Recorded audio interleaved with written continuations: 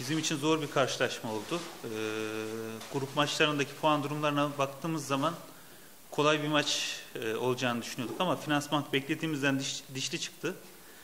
İlk yarı özellikle e, ka- arkadaşlarımı tebrik ediyorum. Çok iyi oynadılar. İkinci yarı Finansbank üzerimize büyük bir baskı kurdu. E, son dakika, son zamana kadar karşılaşmayı bırakmadık. E, ve bunun ödülünü de almış olduk. Finansbank'ı da tebrik ediyorum. Arkadaşlarımı da tebrik ediyorum. İnşallah yarı final maçına bakacağız bundan sonra.